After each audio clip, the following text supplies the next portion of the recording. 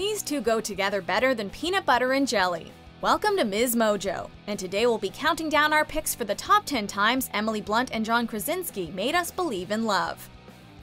Before we begin, we publish new videos every day, so be sure to subscribe for more great content. For this list, we're looking at all the adorable and funny moments that make this couple one of the most relatable in Hollywood. Number 10. Their red carpet love. It isn't uncommon to see googly eyes on the red carpet, but what Emily and John have is definitely next level.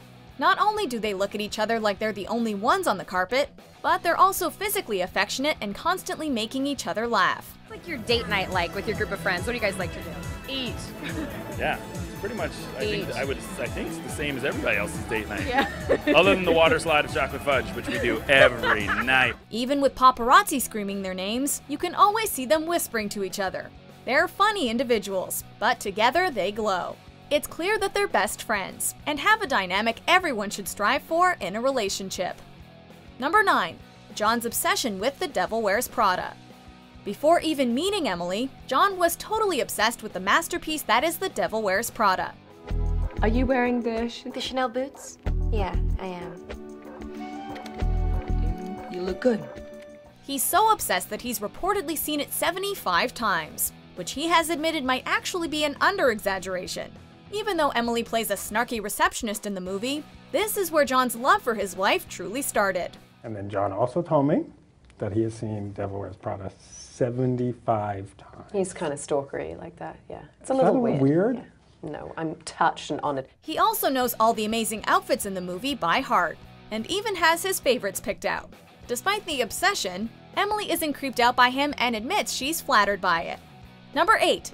Scuba diving on their honeymoon. I have a big phobia of sharks. I feel like there are sharks in any mass of water.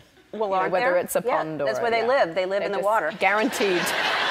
While honeymooning with John, Emily Blunt faced her fear of sharks head on by scuba diving in shark infested waters.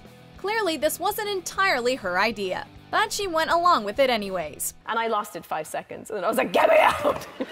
So Wow, hard. you cave under pressure. I mean, I you do. say no, and then I he know. says, yeah, just jump in, and you just jump in. Her reward for being brave was a shark swimming right past her head, which caused her to faint underwater. While most of us would probably be back on the shore vowing to never set foot in the ocean again, Emily's no quitter. Luckily, a sweet sea turtle made the whole thing worthwhile when it gave Emily a comforting pat on the head. Number 7. The Battle of the Accents. But uh, no, I, I, I shook her hand, and to be honest, I knew uh, I knew right then and there that I felt uh, uh, everything I needed to feel for her. John is from Boston, USA, and Emily is from Wandsworth, England, so they have very different accents. It's something they love about each other, but when it comes to their children, Emily wants them to speak in the Queen's English. Oh, really? Please. It's been an ongoing battle since their oldest daughter Hazel started talking. The three year old has flipped back and forth, but Emily continues to hope for a little English accent. No matter what, Emily is determined to be called Mum and not Mom, which really isn't too much to ask for. Have they enjoyed it? I mean, very well. I'm quite happy that Hazel is back to saying water as opposed to water, which Yes. she started saying. Number 6. ALS Ice Bucket Challenge. This is the biggest container I could find. Here we go. Oh, yes! Oh, It's always touching when celebrity couples get involved with a good cause, but Emily and John do it in their own unique way. John was the first to take up the ALS Ice Bucket Challenge, but claimed to be on location and tried to get away with just using a tiny mug of water on himself.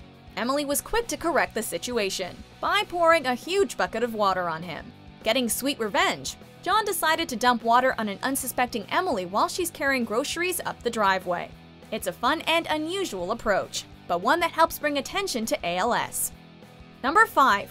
When John started cooking. It started with a Mother's Day gift to Emily. Okay. It's pretty sad that that's what impresses her. That just goes to show you how unimpressive I am at home. To surprise his wife on Mother's Day, John decided to try his hand at cooking. He made a delicious meal of roast chicken to pay homage to Emily's English heritage, complete with a side of veggies and lemons in the hole.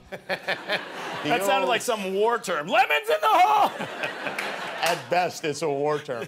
Emily must have really loved the meal, because later she made a bet with John on the actual age of Leonardo DiCaprio. If she was right, then he would cook once a week. But if he was right, then he would get to play Call of Duty once a week. Needless to say, John has been getting a lot of practice in the kitchen since he made that fateful bet. I would have sided with you. He's older than He's 41. Oh no. Come on. He really he should be cooking dinner at your house. Yes, I agree. Number 4. The Jimmy Kimmel School of Perfect Acting skit. John and Emily have shown remarkable range in their various roles, but nothing flexed their acting chops more than this gem of a skit. Stand up and put your mouths on each other. Go ahead. No kissing.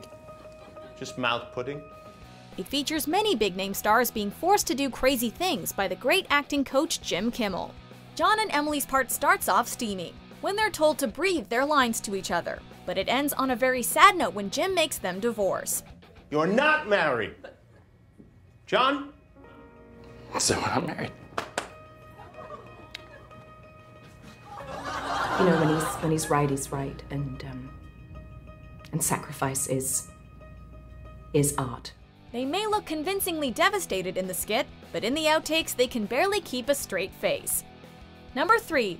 Love at First Sight. And it's one of those things where, you know, as soon as you meet someone, you. You kinda knew right know. away when you met her? Yes. Love at First Sight may be a bit cliche, but we romantics at heart can't get enough of it.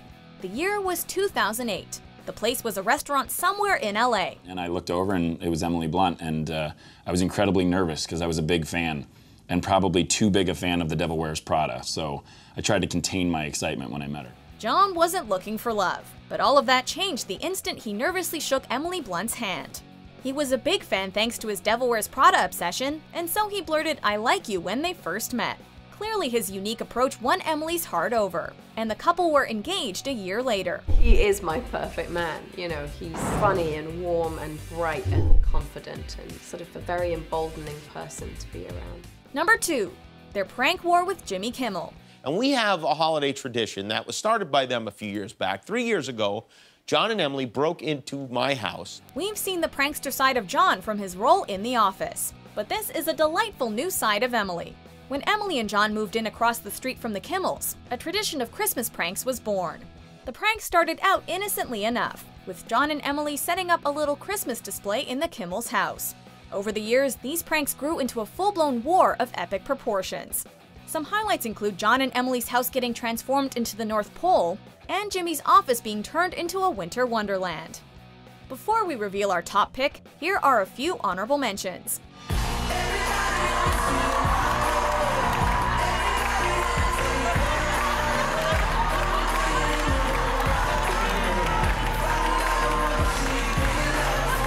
Many times have you been to see the play? I will have seen it by the end four times, which I feel is very wifely. of It's, me. it's And pretty solid. It's like a solid number. How long was the run?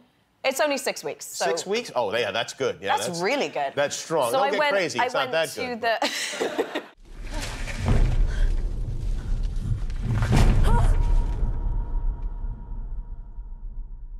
Number 1. When John crashed Emily's acceptance speech. Part of being in a loving relationship is being happy when the other succeeds. In this case, John couldn't contain his excitement. When Emily won a Critics' Choice Award for her role in The Edge of Tomorrow, John, who was presenting next, ran on stage to give his wife a big hug and a little peck on the cheek. Yes! He's presenting next, so. The happy squeals Emily makes when she sees her hubby are absolutely adorable, showing just how much John means to her. If this isn't a moment of pure love, we don't know what is. Finally, to my sneaky husband, John Krasinski, for being okay with the fact that he was married to a veiny, sinewy wrestler for the duration of this film. Do you agree with our picks? Check out these other great clips from Ms. Mojo and subscribe for new videos every day.